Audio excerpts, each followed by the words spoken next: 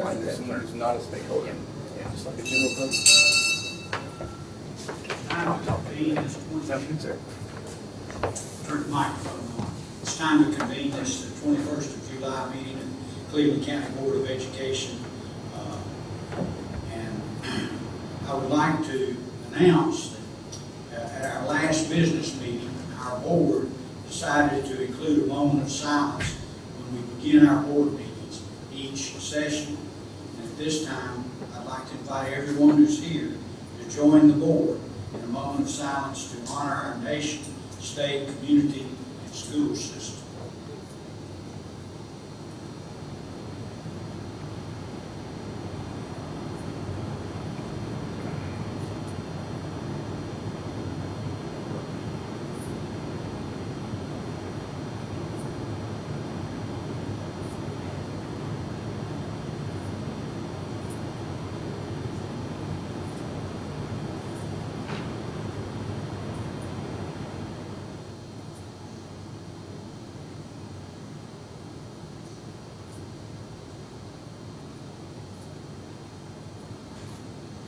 Thank you. Miller,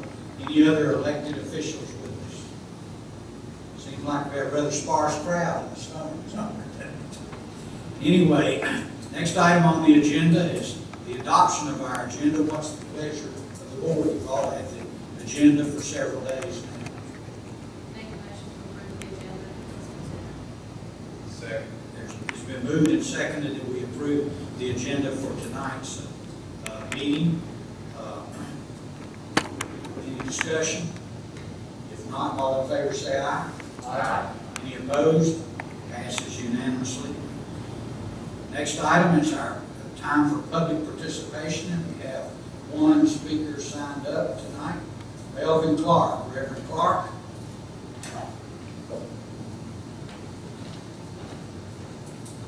We look forward to your comments. Amen. Uh, Y'all took the clock down for three minutes, so I guess I just keep going to the My watch is working.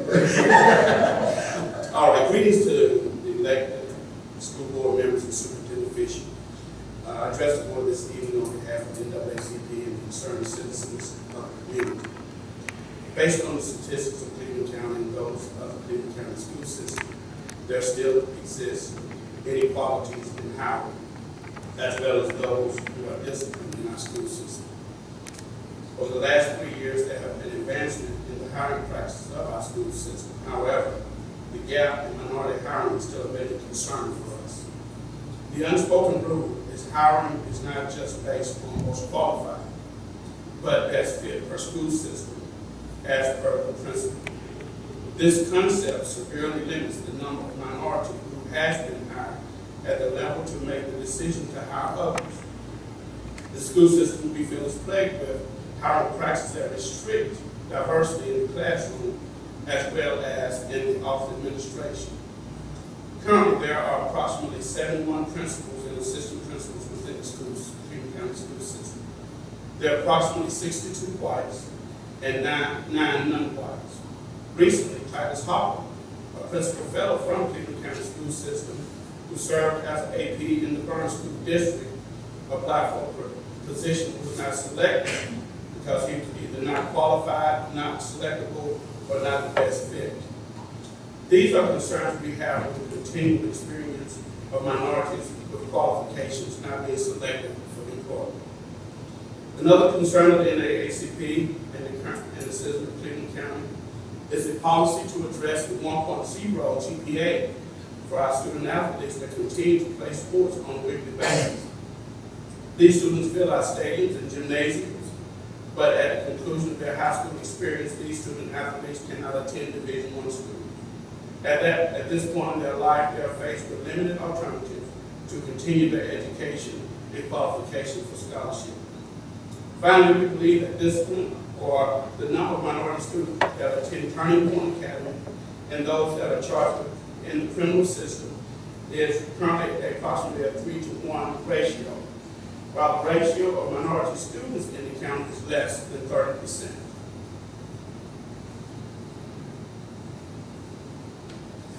We, the NAACP, are concerned and concerned citizens of the county are concerned about these issues. And what we come today to recommend uh, to the board is that the diversity team uh, that was established a few years ago in some form continue to exist to make recommendations to the superintendent of the school as well as the school board to close these gaps in our community. Thank you. Thank you.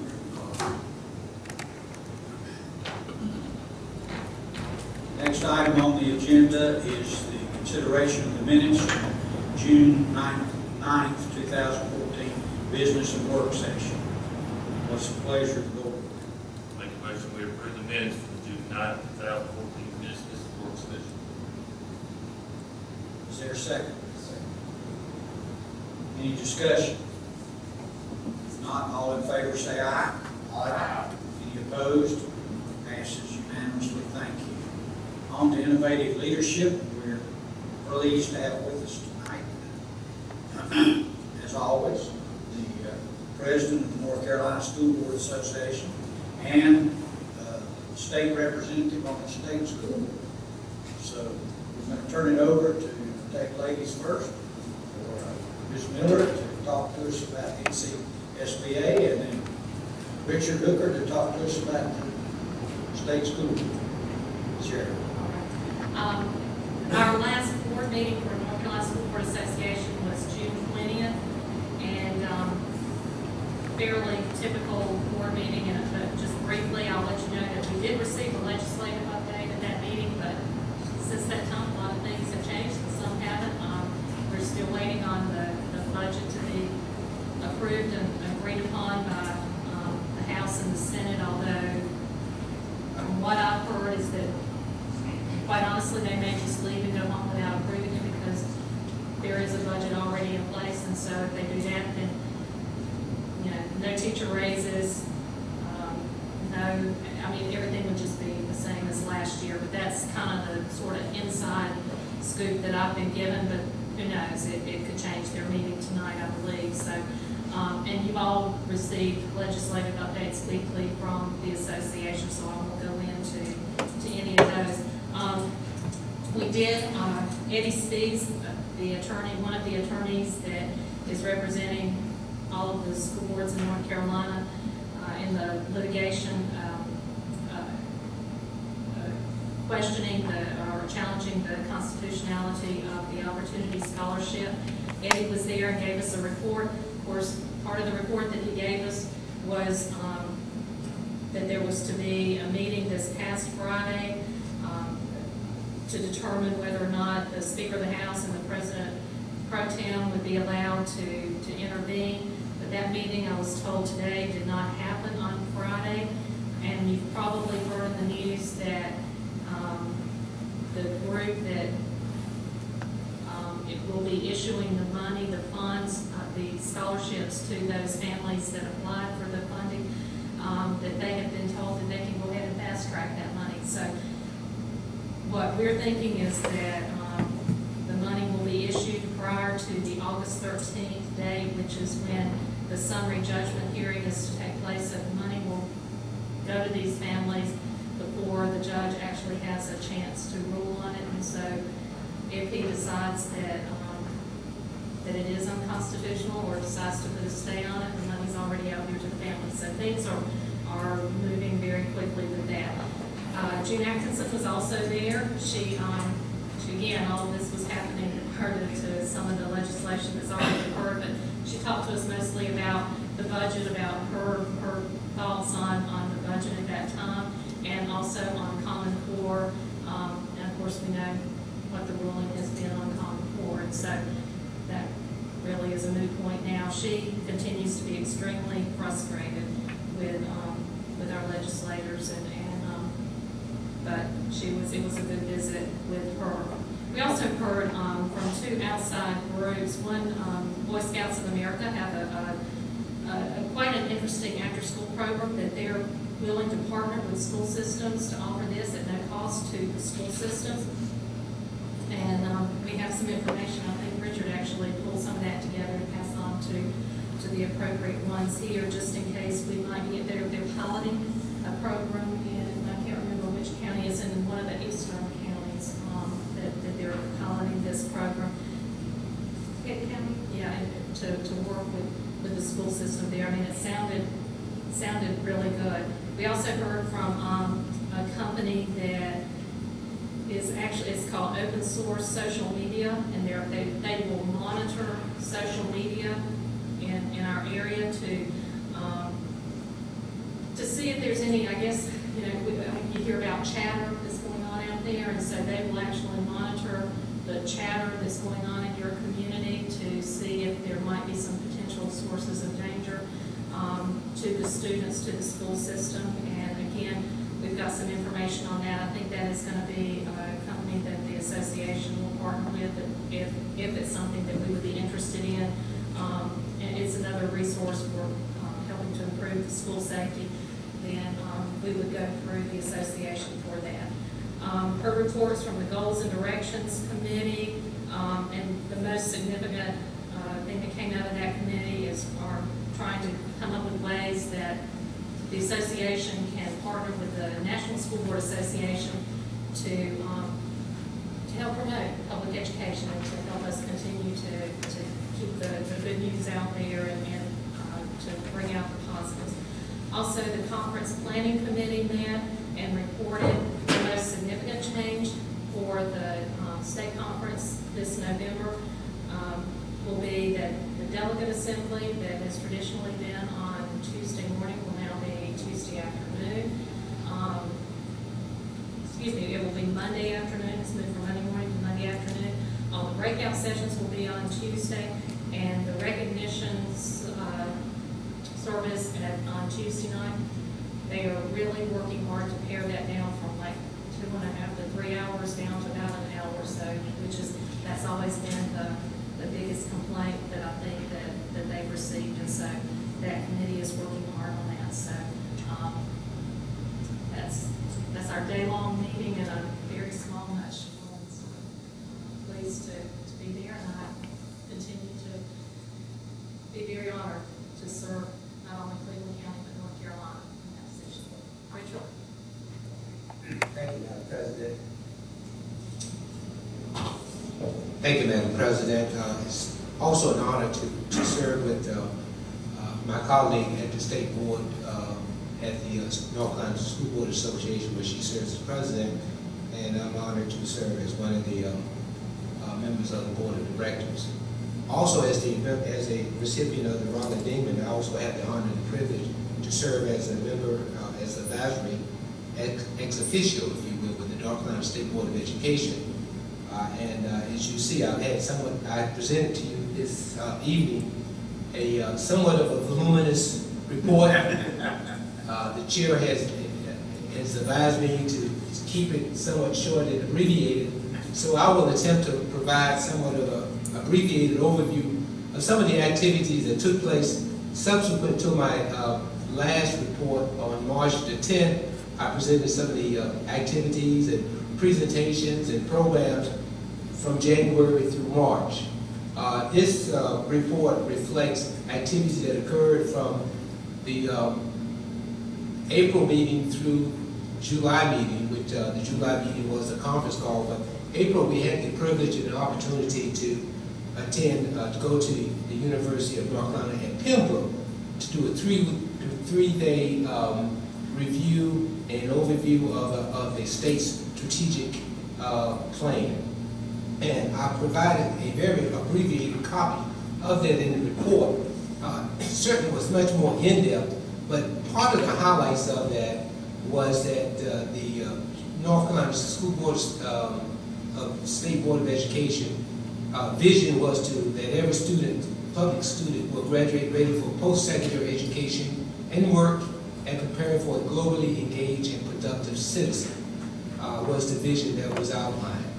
And of course, the mission of the State Board of Education is that it has the constitutional duty to lead and uphold the system of public education in North Carolina.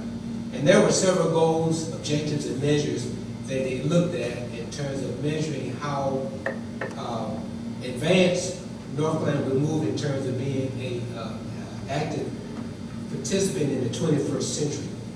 Again, I won't go into uh, detail, but some of the highlights were that uh, every student in North Carolina schools graduate from high school prepared for work and education. And they looked at graduation rates, they looked at the percentage of students who will be uh, going to post-secondary education. They looked at the five-year plan in terms of the percentages, the goals and the measurements of where the state plans to be from 2011 through 2017, 2016 through 2017. So there were progressive measurements and goals that were established.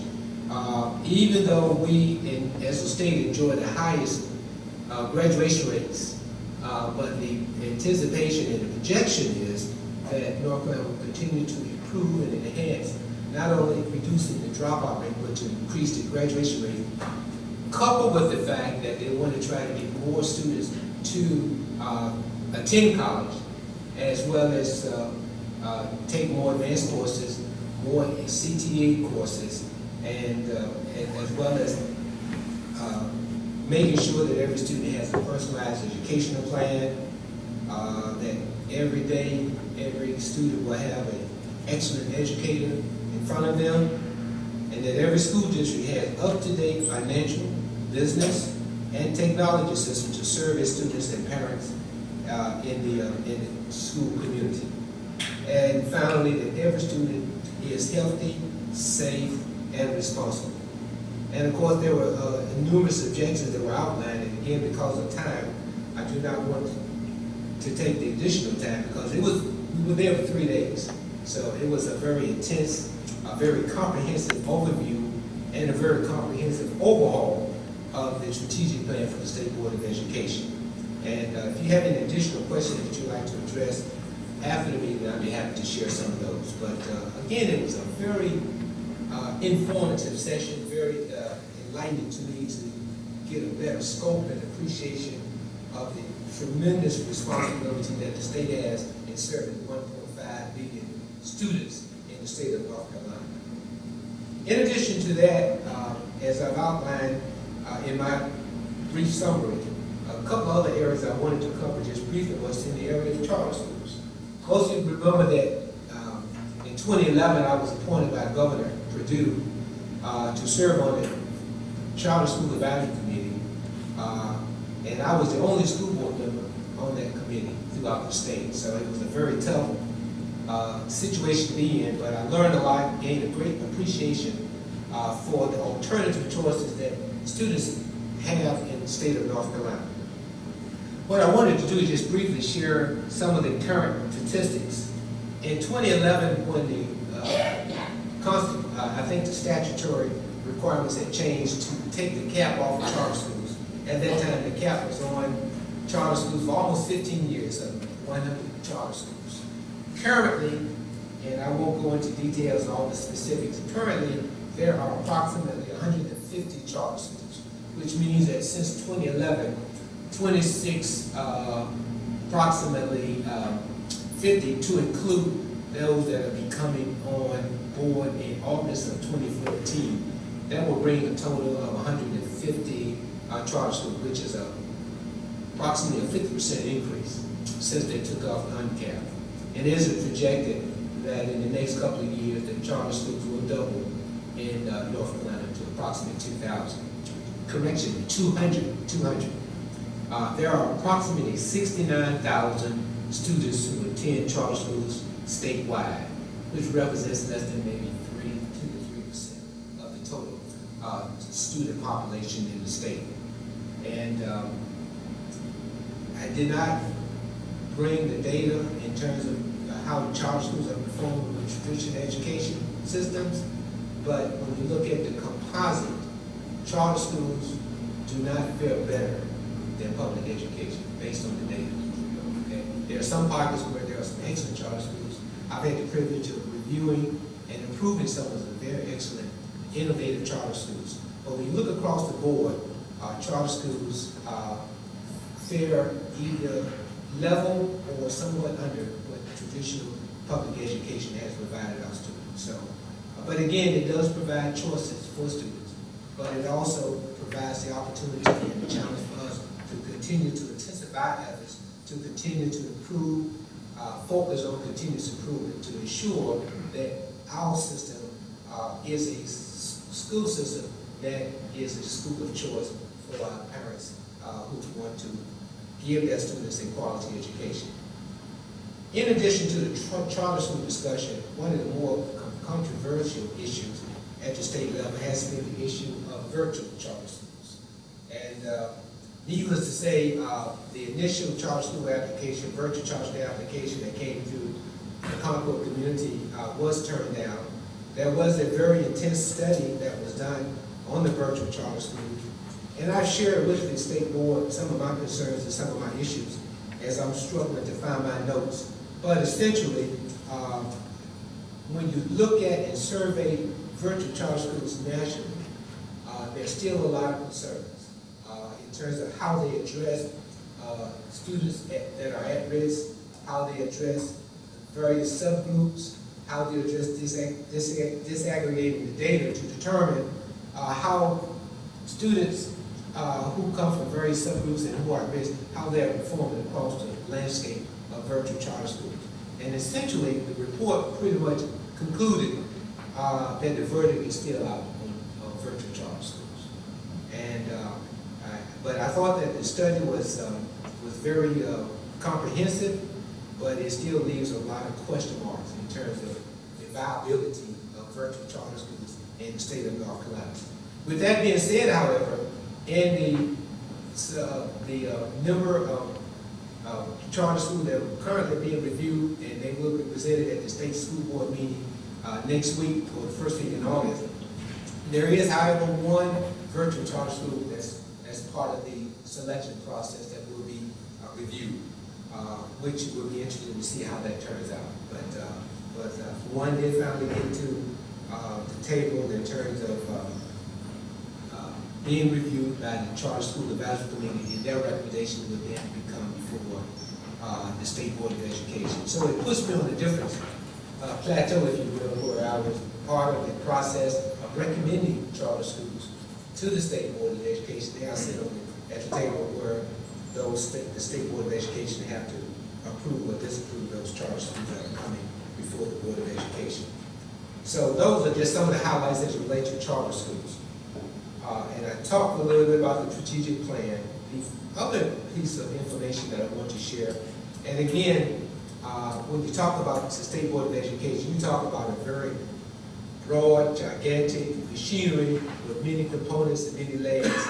And part of your package I highlighted uh, was a, a report that shows some of the departments and the representatives of those departments that, uh, that represent uh, those supporting agencies to assist school districts uh, in the uh, education community throughout North Carolina. Let me conclude by uh, just highlighting a little bit on another important study that was presented at the last uh, State Board of meeting, and that was uh, the preliminary finding for the 2014 North Carolina Teacher Working Conditions Survey. And of course, as you know, we just completed uh, our own district-wide survey. And I think the survey uh, that we have pretty much mirror what the state is. And uh, the report shows that over 100,000 teachers and principals participated in the survey. And uh, the survey from when it originated in 2002 has remained somewhat level and stable over the years, except that I wanted to highlight a couple of preliminary findings that I thought would be interesting. Uh, for one, uh, there was some, high, basically there was very high uh, reporting of, of, in the findings to reflect uh, teacher satisfaction with the conditions in the school systems. For an example, more than 9 out of 10 educators, or 93%, reported that their faculty work in a school environment was safe, and that's positive. Uh, nearly 94% of respondents indicated that teachers are held to a high professional standards for delivering instructions, and that's one of the higher ones.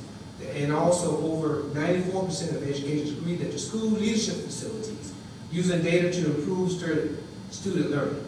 Let me repeat that. 94% of educators agree that school leadership facilitates using data to improve student learning. And that, of course, is one of the, you know, the uh, uh, standards that we utilize in terms of making decisions in terms of student learning, is we view the data, we uh, analyze the data, uh, and um, we certainly continue to use that as a model to help enhance our student learning. Some of the declines that were reported uh, was that um, uh, there was a reduction in the percentage, even though it was 74% of teachers have su sufficient access to appropriate instructional material. Uh, and that represents about a 5% drop from the previous year. Uh, the percentage of educators uh, receiving uh, the number of hours of professional de development declined, which suggests that they were not receiving the amount of professional development that they felt that they deserved.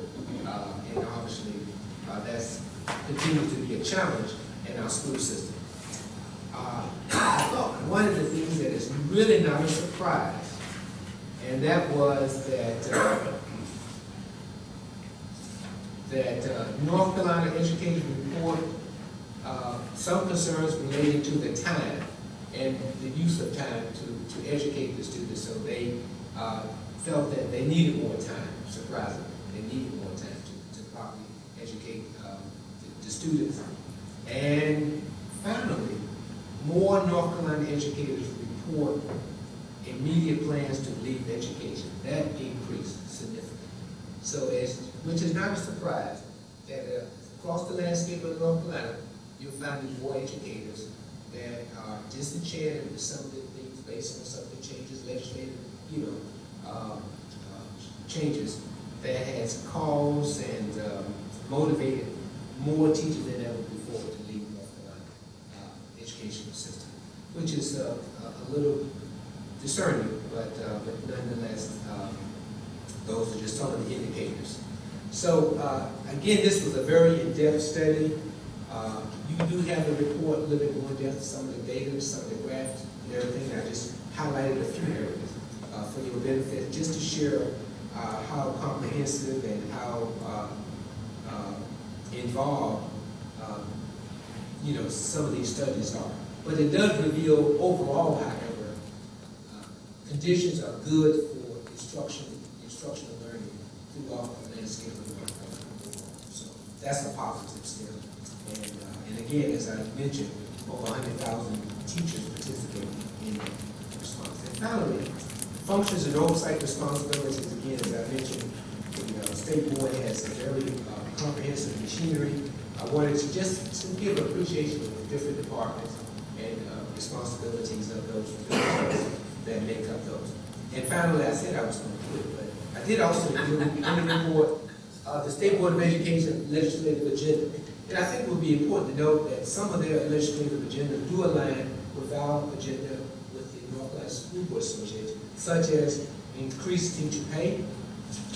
Uh, for an example, uh, uh reinstating the master's and doctoral pay.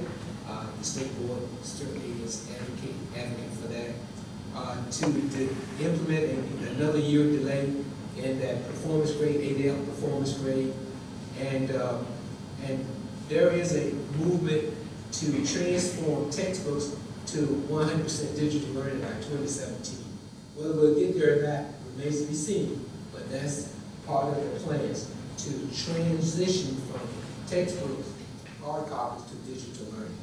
And one that you might be appreciative of is to amend and allow school, local school districts the option of a balanced calendar of no more than twenty-five days. So the school calendar flexibility was also part of the state board's legislative agenda as well. So, uh, I know Dr. Jewel appreciated that. But anyway, uh, Mr. Chairman, that concludes my report, my abbreviated report. You mean, a few, a few less fi- final things? I, I got a whole lot more I can cover.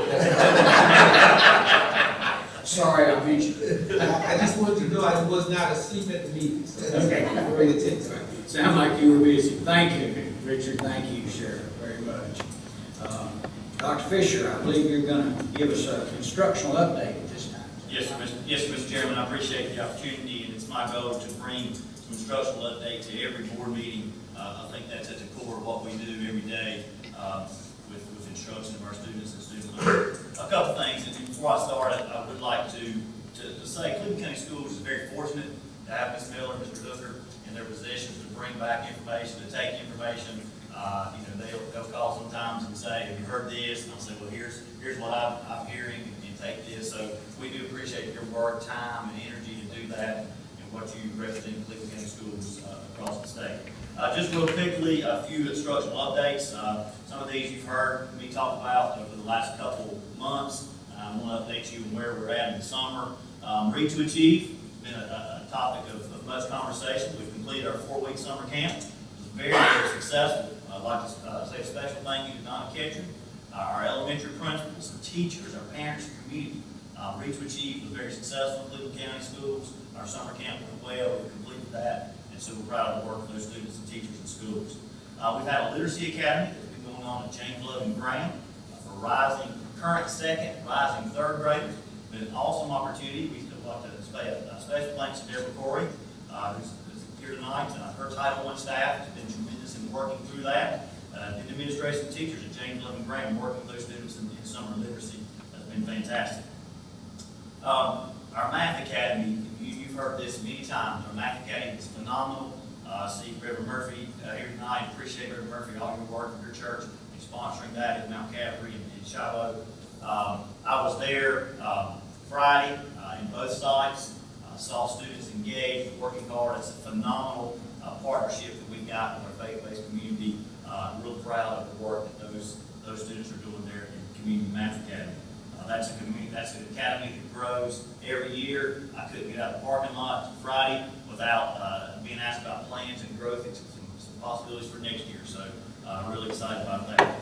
Uh, Ready, Set, Grow is a kindergarten program we've got for rising kindergarten students, and that's, uh, ongoing this week and continue over this week and next week at our elementary schools. So you'll continue to see some yellow buses, uh, running through the, the streets of, of our communities over the next couple of weeks.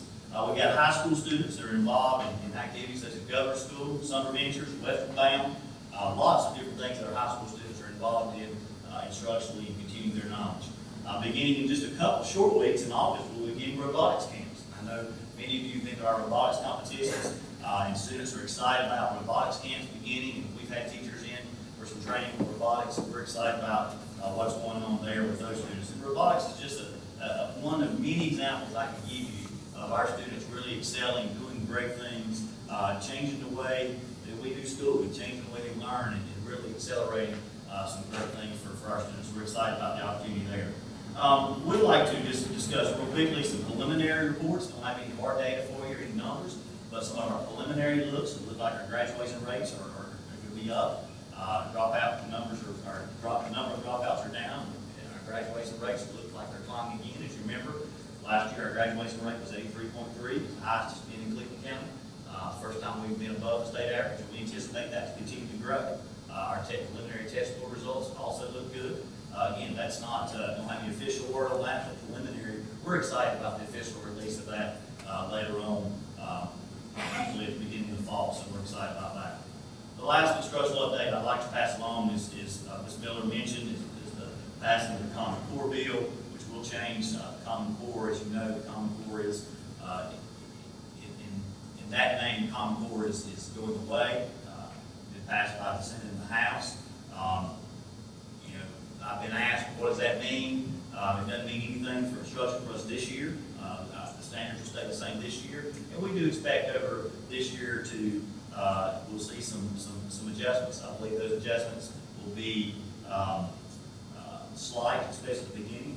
There's some good provisions put in that, that, you know, um, curriculum changes have to be passed by the State Board of Education, and, and there's some, some, some things there that, that, uh, we feel comfortable, not gonna just change everything that we've been doing.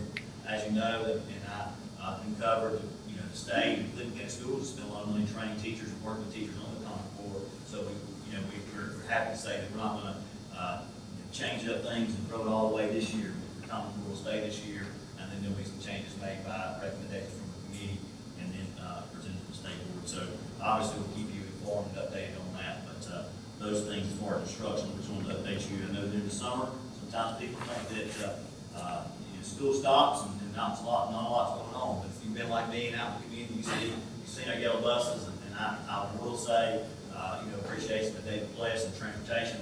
Um, I've had to call David in multiple times, uh, at, during spring, and say, we're gonna need buses for this, we're gonna need buses for this. I said, I'm not sure when you're gonna get them, uh, washed and serviced, but we're gonna need to run them in the summer. And, and, and Mr. Bless has been very, very flexible and make sure that our students have a bus to, to, uh, uh, to ride on. So that's, uh, that's been a great team effort instruction. But we've got a lot of instructional things going on this summer, a lot of great things going on with the schools, uh, during these summer. Uh, Ms. Miller sitting here reminds me that, that even our community partnerships with, uh, uh, I were, was that with Ms. Miller one day, one morning in a meeting, she said, I've got to go, I got students waiting outside the art, art, uh, art, uh, in the art center for art camp. So our students are really engaged, uh, instructional academically during the summer. So, um, you have any questions, please let us. Questions? Dr. Fisher, how many, how many third graders have we got still short achievement? I- I've not gotten the final report, but that, that is a very small number. We started, uh, summer camp with about half of what we anticipated.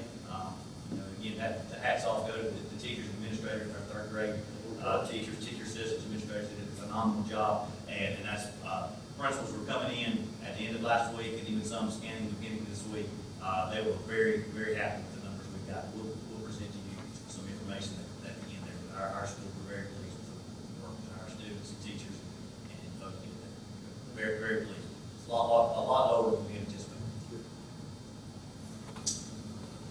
No further questions? Mr. Mr. Chair, uh, Yes. just- just briefly, I don't want to steal uh, some of the thunder. I understand, uh, Dr. Fisher, you will ask uh, uh, some of the, uh, the members or the team from the uh, Math Academy to come and kind of give an update or report, Yes, report sir. out, um, which um, I, I think there will be some exciting things. And I, I guess I shouldn't steal that thunder. I know that one of the visitors was from the state that uh, wanted to feature them in the national magazine.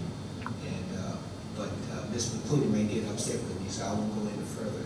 Don't tell everything you know. uh, to I will. I will say that uh, Thursday, Friday evening, the community math academy has their graduations. Uh, and so if you're available those, either Thursday evening or Friday evening, we'll send you some information on that, but, uh, that's always great. This is the last week, so if you have not had a chance to, to visit sites, the or still have an opportunity now and Friday.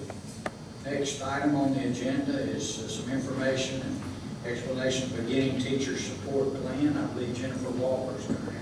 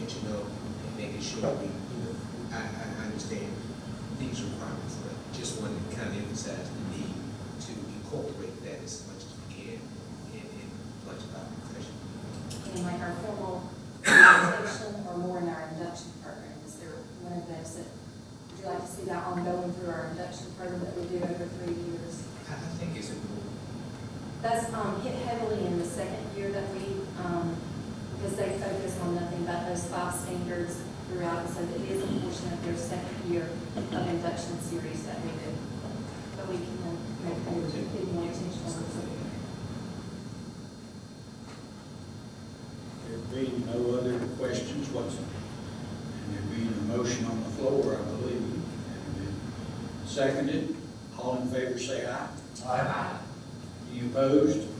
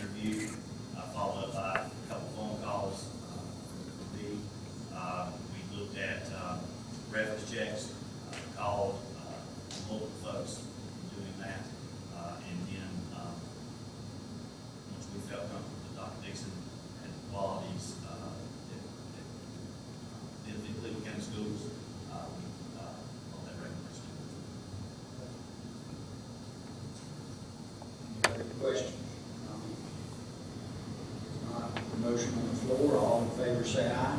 Aye. Any opposed? Passes. Thank you. And on to the next item, the Title One application, Ms. Corey.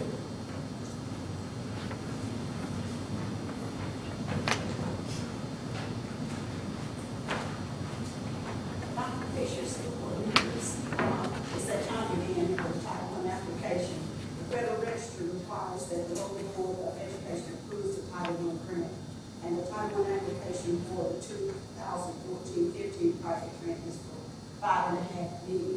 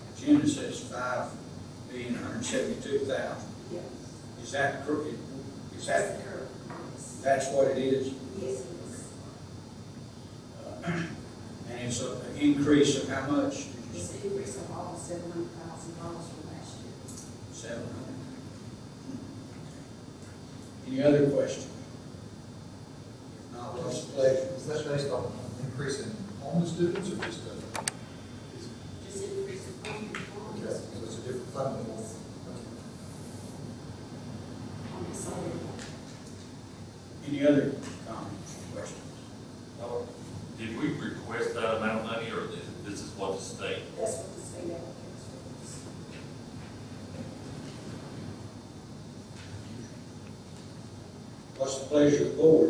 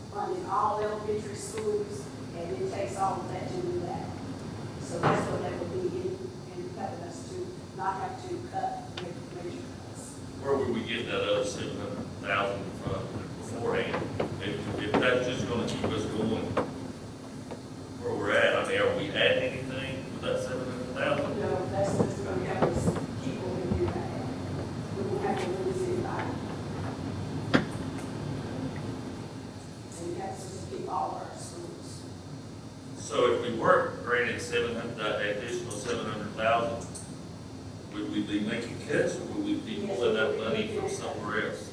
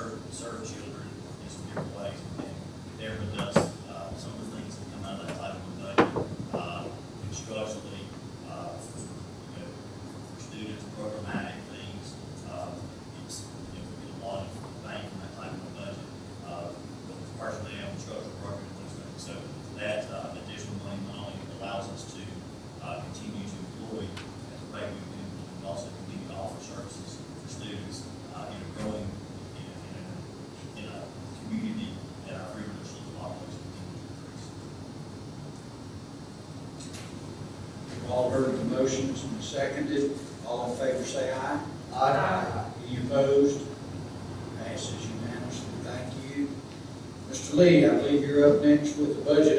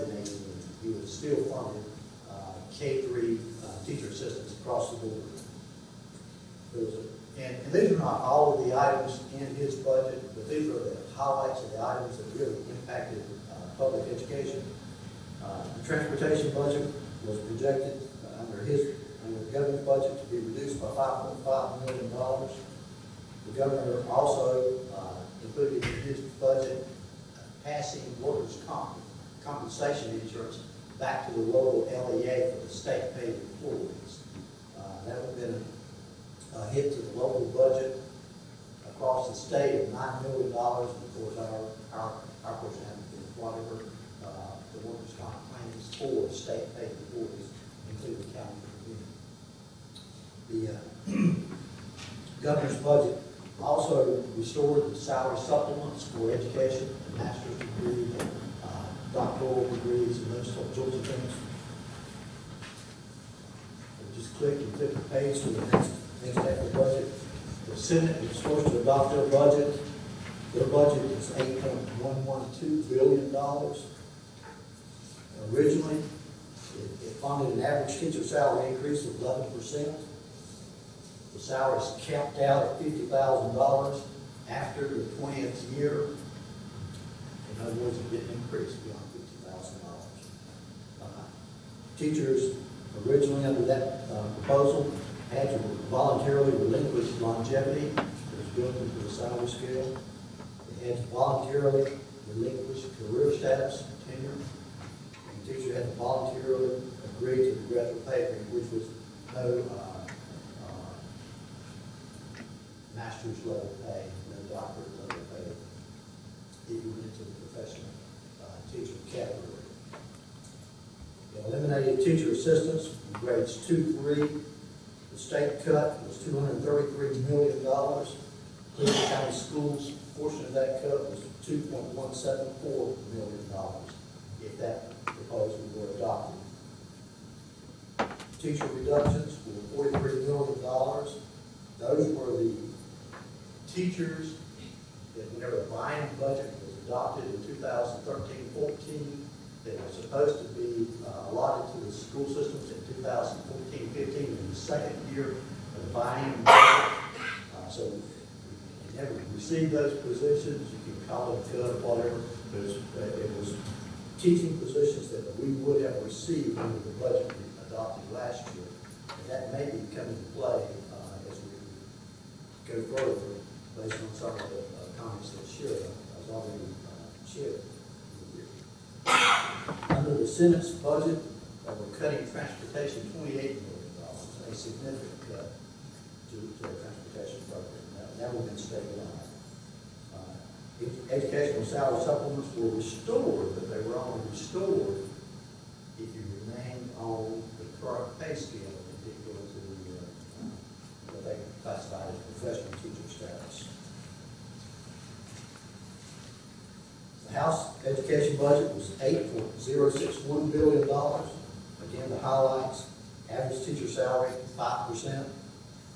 Teacher reductions, the same forty-three million dollars. That's, those are those, again, those positions that were built to reduce class size last year to be phased in with the 2015-15 school year. Uh, Education salary supplements were, were restored across the board, and those are built into the scale. So that was a continuation of the salary scale as we wanted it to be uh, for a number of years. Teacher assistant funding was left intact for K three across the board. In other words, were no cuts. Senate was the first to adopt the budget. Uh, The House was the second to adopt the budget. Those budgets went to each chamber. Of course, they, they uniformly rejected those budgets and nominated conferees. The Senate and House both appointed conferees. There have been numerous proposals presented to, to each of the other chambers over the last several weeks. You read all the, uh, he said, she said, everybody else said, whatever it is. It's gone back and forth between the, uh, the House and Senate. Uh, But ultimately, to this point, we're still at stalemate. Uh, There's been a number of proposals, but nothing has, has passed at this point right now. Um, flip, flip the page, here is the latest proposals that are before the Senate and, and House.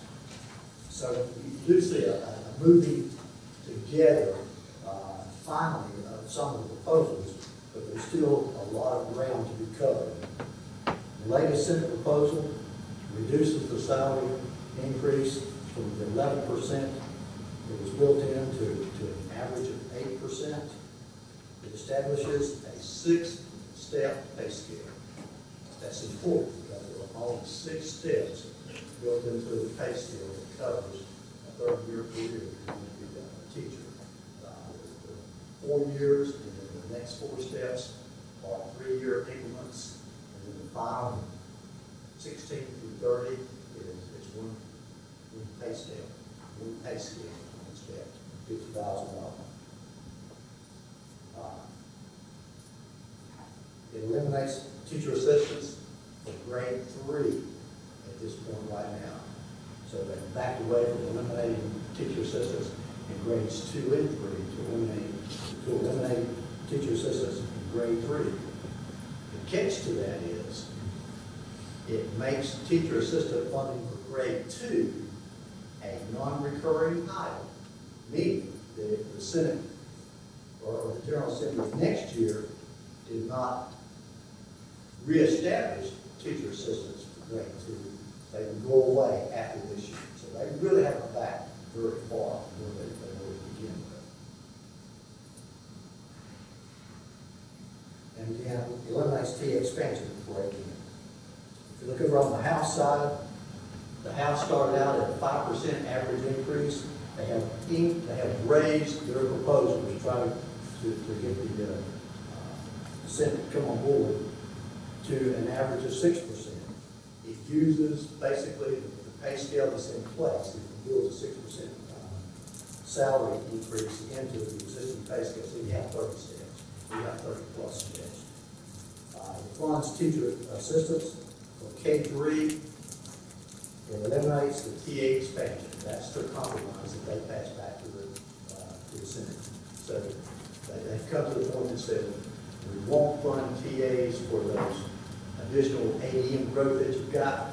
It's important to us to have TAs still in the budget, K three. This page one more time, please. The latest Senate proposal leaves an unspecified K-12 education budget cut of hundred seventy-three point eight eight one million dollars. That means that somewhere or another, the cut has to be done, whether or not that is, is, uh, uh, back to the old discretionary reduction that, that we did in past years. I don't know what that really means, but there's a hundred seventy-three million dollar cut in the Senate proposal, it still has to occur. Either they will identify that or we will identify it. And most of the language that you've heard coming out of the General Assembly is that we have to find additional cuts. Lottery, they agreed to, to raise the, the amount of money that they would take from lottery to fund part of this budget to hundred and sixteen million dollars. And they- dropped the time teacher salary to relinquishing tenure. The latest House proposal on kind of an item item uh, perspective leaves an unspecified K-12 education cut of $136 million statewide. Uh, Again, they, they agree with the Senate, but on the uh, additional lottery proceeds to to be funded in, funding into education, uh, into the regular education budget of $116 million. Uh, They moved the teacher pay package that they originally had from five to six percent, and they've accepted the Senate's lottery. If you could take one more time. Where do we go here? Conferees uh, are, are still meeting, the Senate is supposed to meet at five thirty this, this afternoon, the- the House is supposed to meet at, I think, nine thirty in the, in the morning. Uh, They could adopt a, uh, a compromise budget. I don't know, uh, as Ms. Miller has already stated, uh, there has been talk that you really have a budget.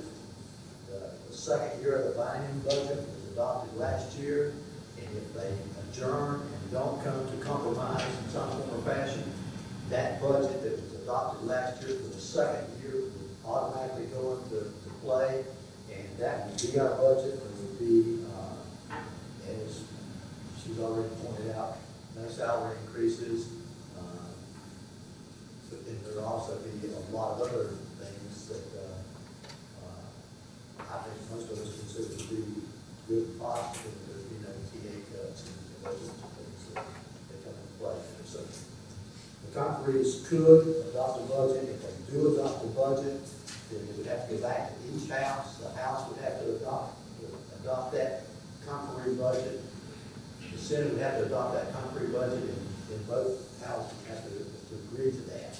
Uh, If they do not do that, fact, the General Assembly could adjourn under the uh, Representative Moore's proposal last week to put a, to pass a bill to end this session this Friday.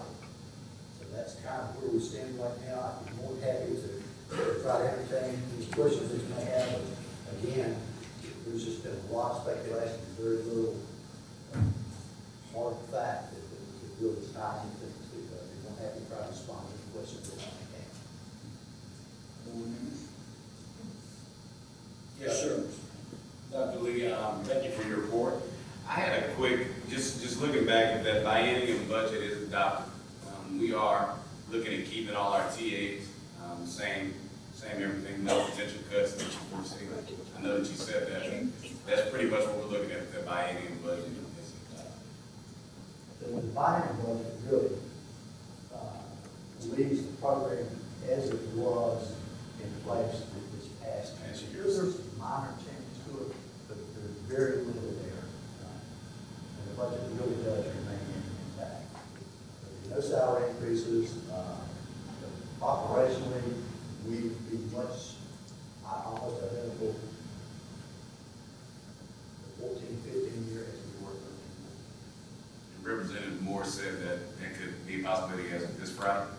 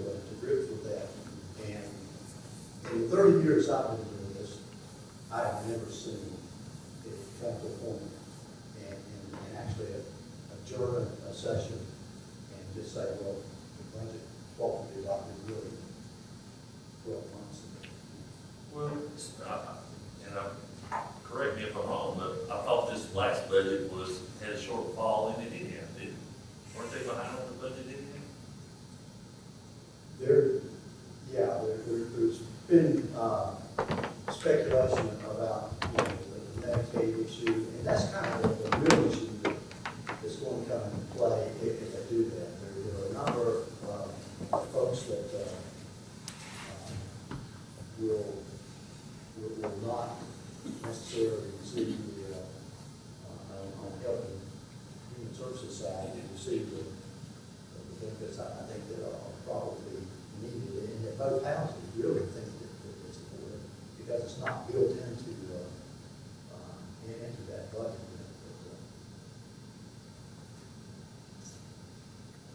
Senate and the House were to get together, Is the governor going to have to then sign it too? He does have to, to, to sign the, the bill, but the fact that uh, it's a GOP governor and, and House and Senate, uh, I, I know there's been a lot of fighting going back and forth. I can't imagine he would have signed the bill. He has come out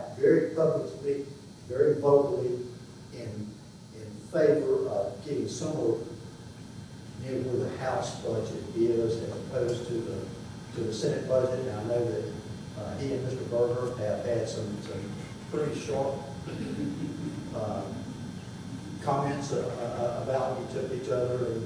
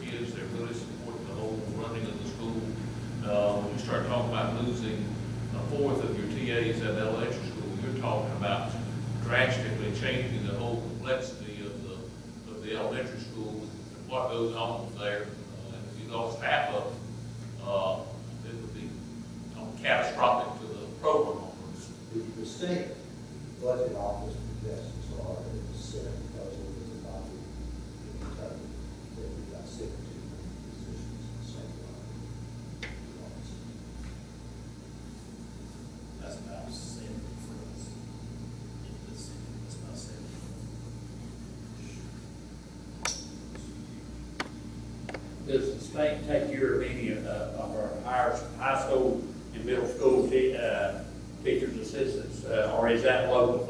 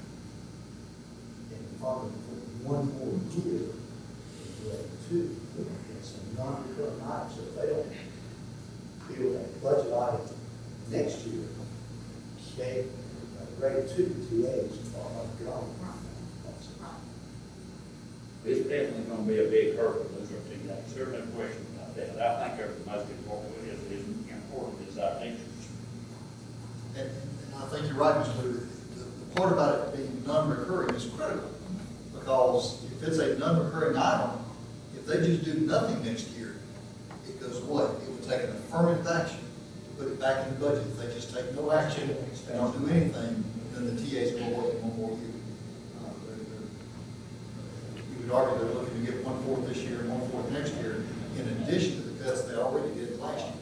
Uh, the House and Senate basically fighting over whether we're going to cut this much or this much. They're, they're fighting over how much to cut the public education. That's, that's sad. And, you know, they're, they're looking for teacher salary increases, and one is saying now 6%, one is saying 8%, and they can't think of a number between 6 and 8. I can think of a number between 6 and 8.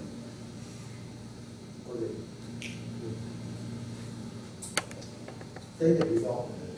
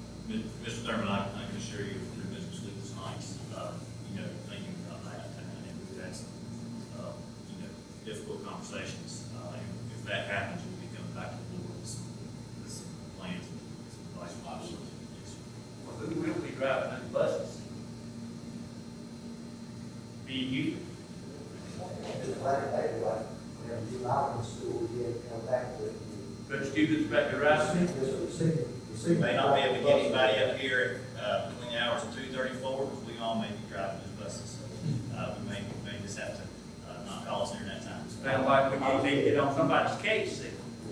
We don't want to be done with uh, us, I can assure you that. I think Mr. Yarber still got his license Okay, I think we've hashed this out.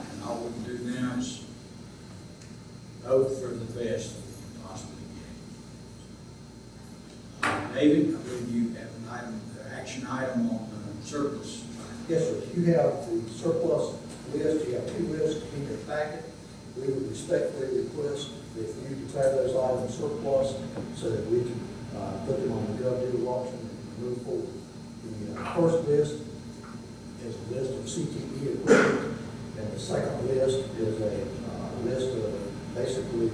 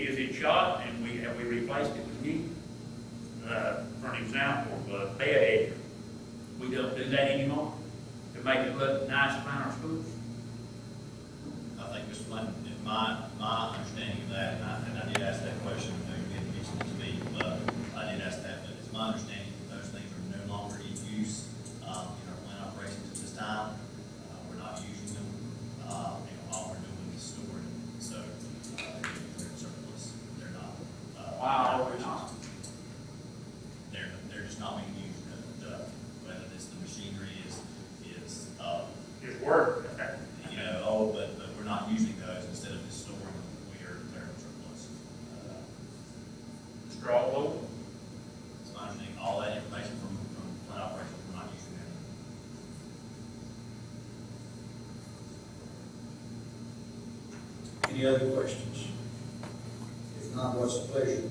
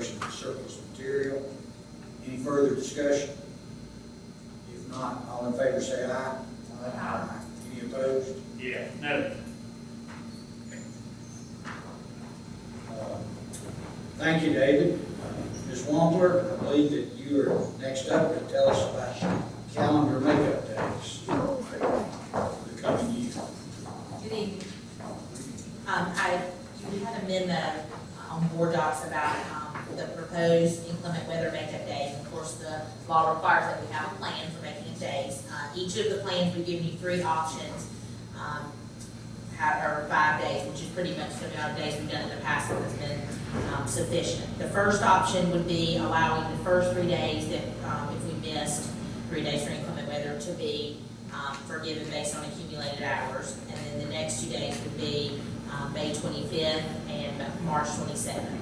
Um, option two would do four days, uh, using the accumulated hours, and then one of the, the next two, um, if the day, you know, if we had enough, if the days occurred before March twenty-seventh, we would use that day, and then if it occurred after, we would do May twenty-fifth.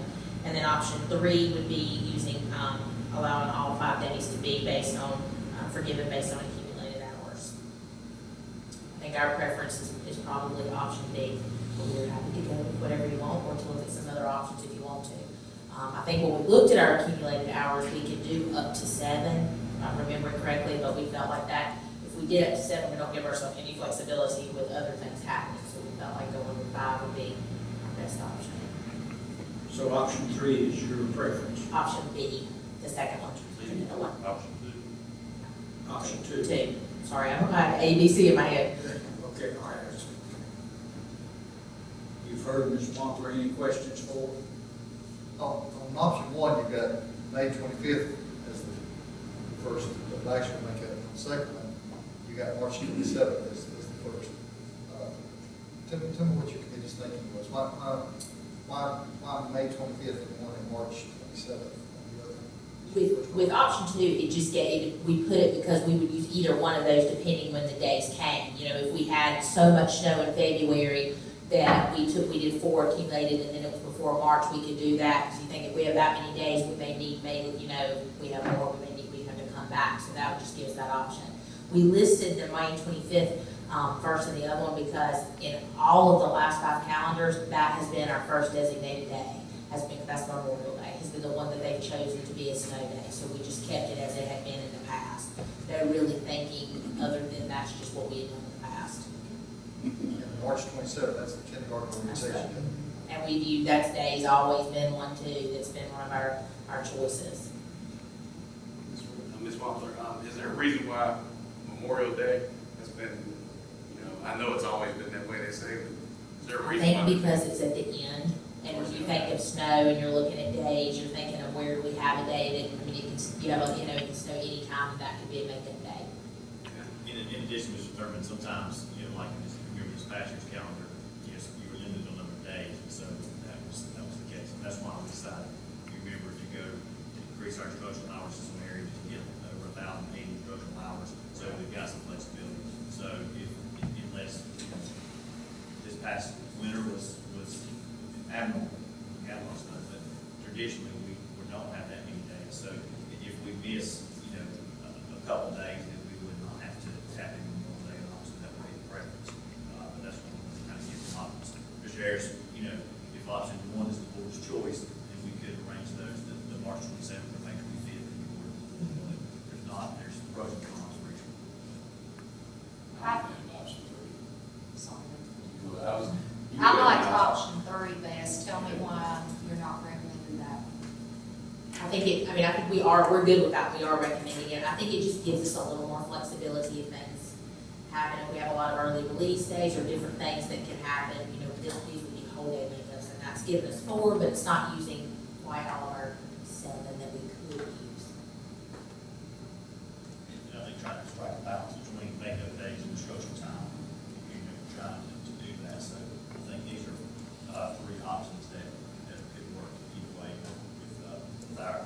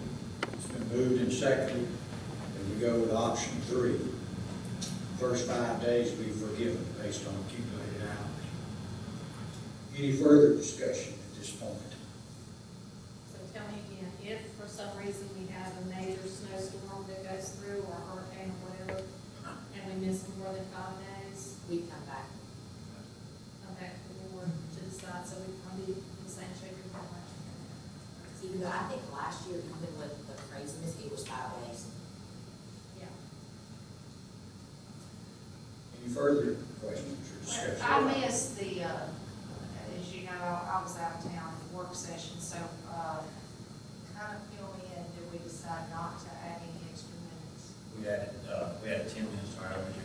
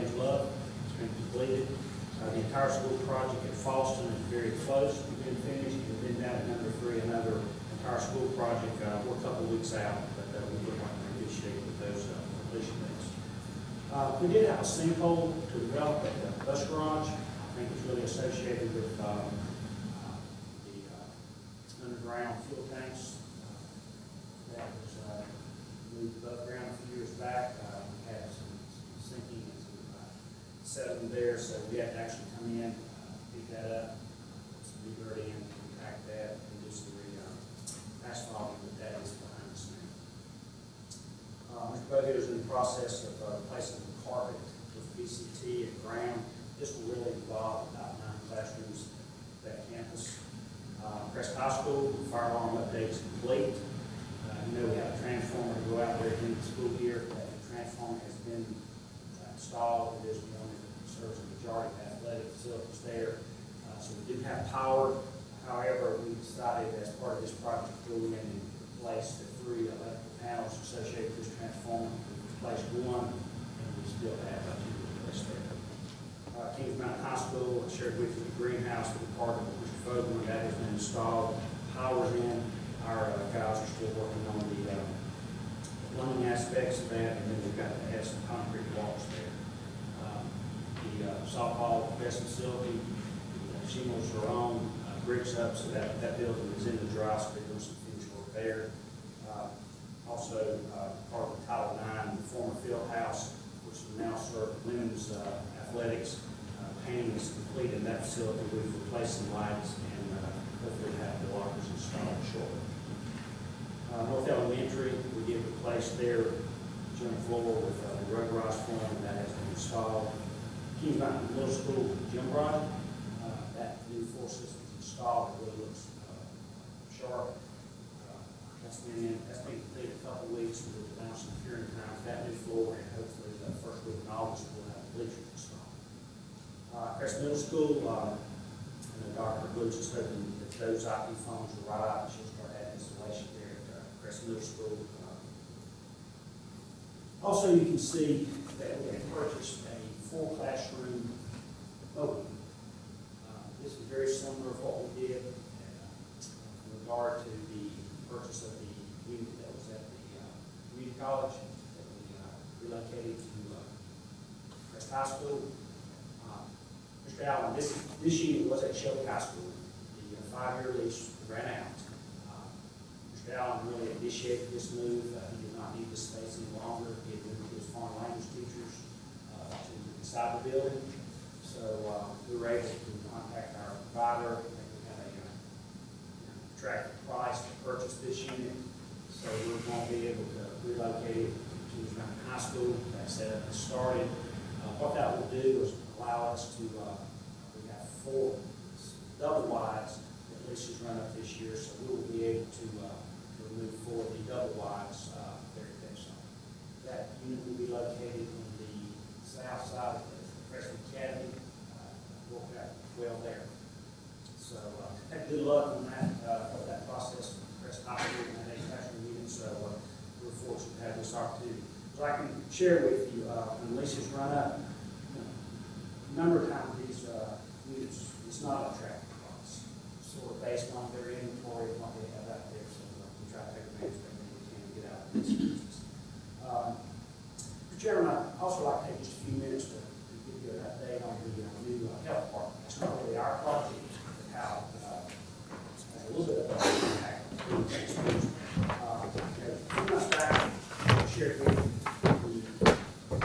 drive, the this one behind the current DSS, and the drive will actually come between Shelby Intermediate and DSS. Um, And how that impacts us, basically, currently, we enter our north entrance to Shelby Intermediate off of drive,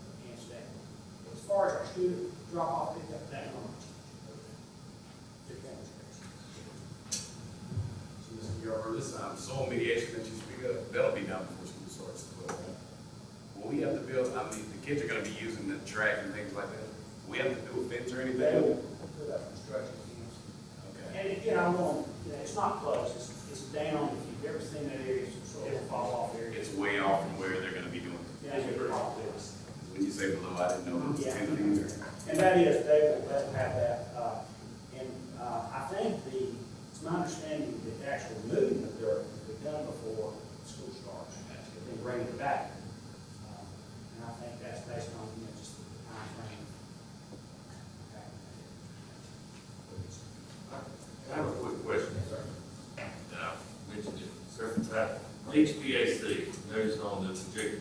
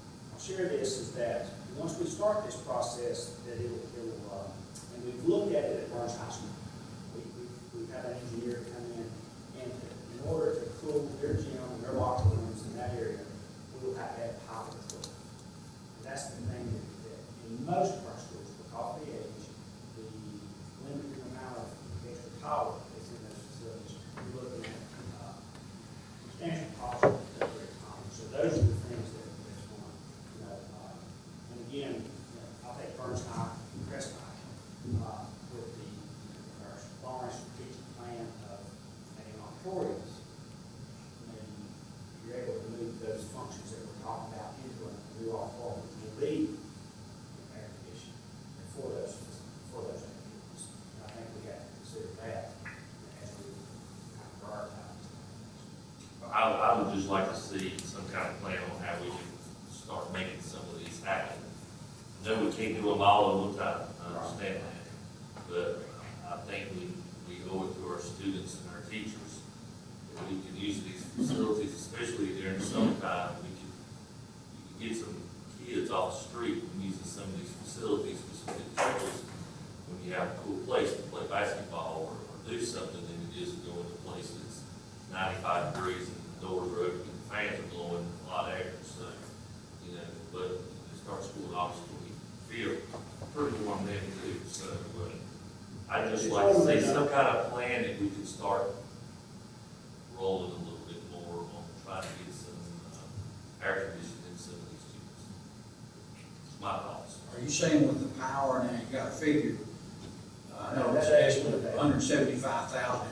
much more than that, right? Any guess right now? I was giving you an example, I think when we upgraded the power at Barnes Hospital for their well line, that was, I think that was a project you approved, so it was in excess of hundred thousand dollars. So In excess of a hundred, yes, and there, these chillers so instead of hundred and seventy-five, we might be facing two hundred and seventy-five. right? and every. Per gym, possible. They do not have the power in that, in that uh, structure that's built on. Well, are you saying that maybe Crest has enough? No, I will take those two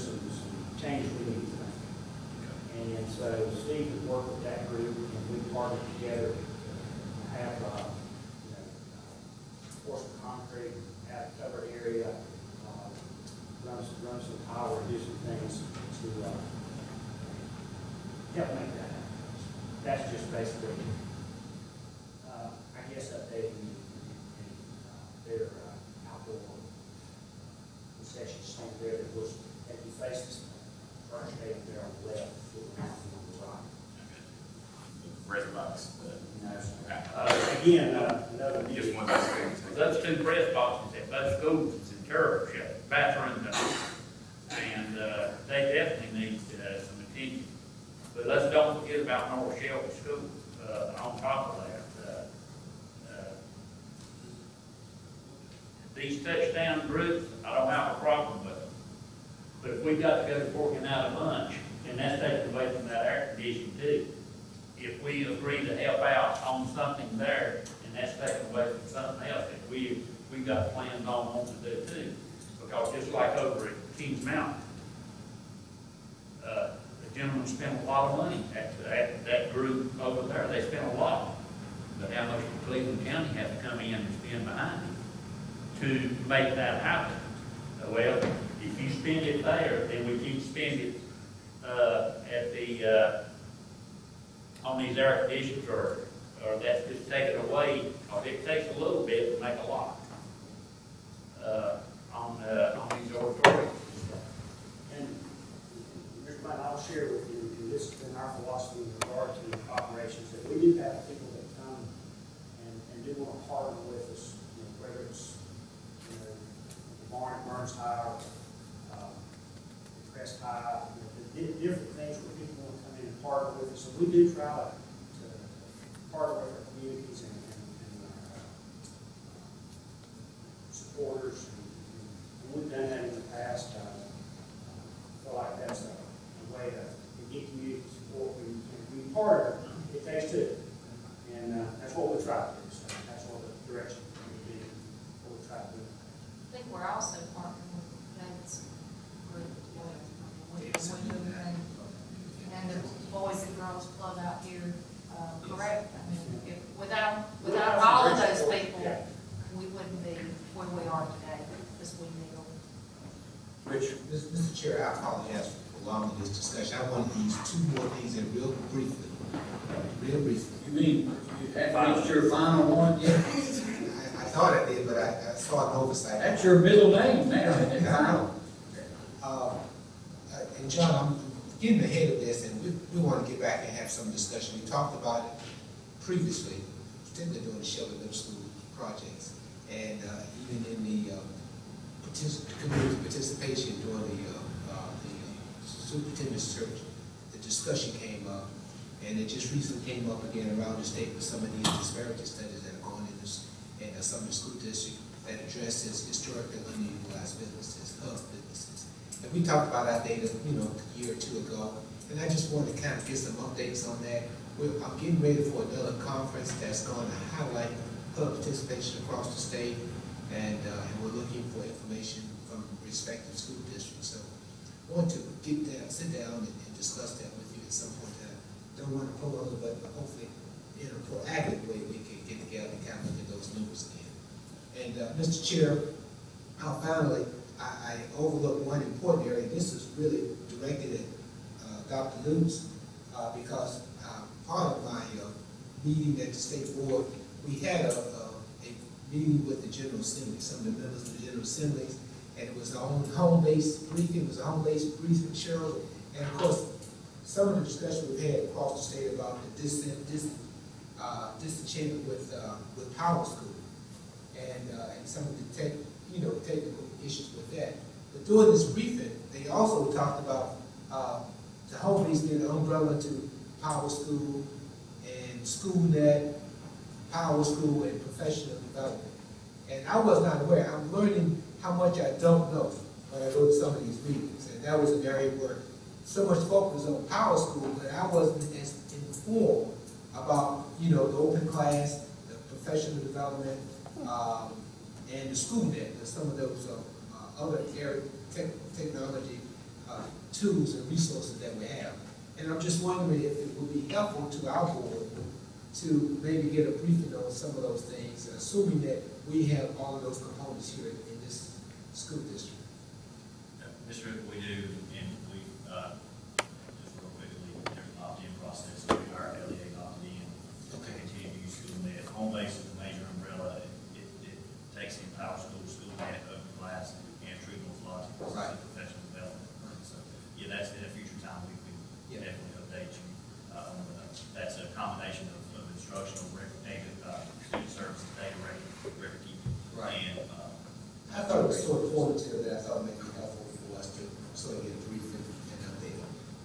Thank- Thank you, Richard, and uh, Mr. Yarborough, thank you for, and I'm sure I speak for the board, we all know that you, you know, you have limited funds, and I admire you and your staff for doing the best you possibly can, even though each one of us may want to do something a little bit more in some area, you know, you do a good job, it's almost impossible to please everybody. I agree with uh, Dr. Hamrick, and I'll say, I, as a parent of a child at Kings Mountain High School who plays football, I have a problem going to the restroom during the football game. So I think we have facilities all over the county that need to be updated. You saw that one, though, didn't you? That's right. Maybe don't shrink anything while you're there. Thank you, Sharon, I agree. Our last item on the agenda before we get too far, student transfer request. Dr. Fisher, you want to say anything about those? We've all looked at those. I Attachment. think. And, Make that recommendation. Anybody have any questions for Dr. Fisher on student transfers? Do we have any hearings coming up? That's one. Very good. All right, and uh, Dr. Fisher, we hear the community every once in a while, any of these related to athletics at the high school? Not to my knowledge. Thank you. Ma- I make a motion, we approve the transfer, uh, request as recommended, or recommended by the superintendent. I say. We've moved and seconded that we uh, approve the transfer credit request as recommended by Superintendent Dr. Fisher. Uh, Any further discussion? If not, all in favor say aye. Aye. Any opposed? Passes unanimously. That completes our agenda. Do I hear a motion to adjourn? So moved. Is there a second? Second. Please get up and leave.